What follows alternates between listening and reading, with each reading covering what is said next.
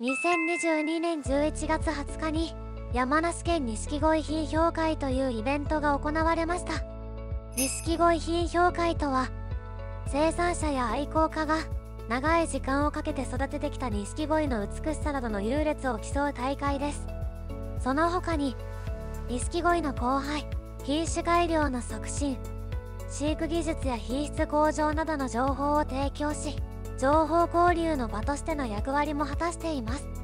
その錦鯉品評会の幼魚の部でなんとフィッシュランド石原が総合優勝することができました。賞状とトロフィーを授与されました。写真は県議会会長とフィッシュランド石原の会長との1枚。見事優勝に選ばれた錦鯉がこちら。小三色は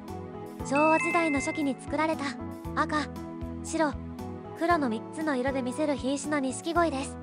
近隣昭和三色は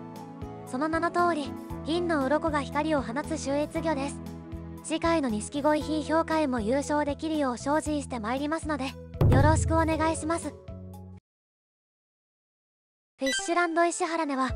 品評会に出品するようなマニア用の鯉から一般の方向けの良質でお買い得な鯉従来種新品種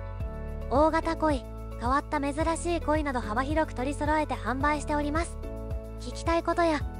わからないことはお気軽にお問い合わせください。ご視聴ありがとうございました。